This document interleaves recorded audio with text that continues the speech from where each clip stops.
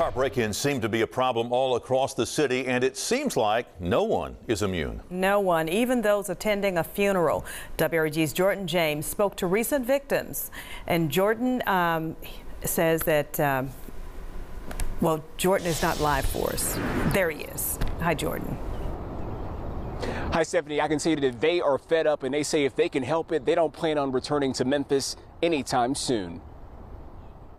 Tonight, emotions are running high for a family following a recent visit to the Bluff City. I will never be back to Memphis. These feelings coming after the family's vehicle was broken into while attending a funeral service last month at Family Funeral Care. For somebody to go to a place of mourning and break into a vehicle and cause more uh, cause more stress, I mean that, that is just ridiculous. Memphis police say someone broke into the family's Ford Explorer and stowed a Michael Kors purse, which contained a wallet with several credit and debit cards. Minutes after the theft, the suspects allegedly used the cards to buy more than $8,000 worth of items at the Sam's Club. Surveillance footage shows what appears to be two females exiting a maroon sedan and entering the store. The family tells WREG they are now out of thousands of dollars because of this crime. I tell you, they was in the right place if I would have caught them.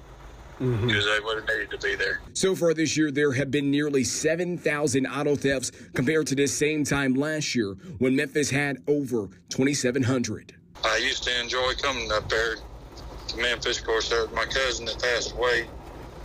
Um, used to go up there and visit him, but now that he, he's gone, uh, I'll never come back to Memphis.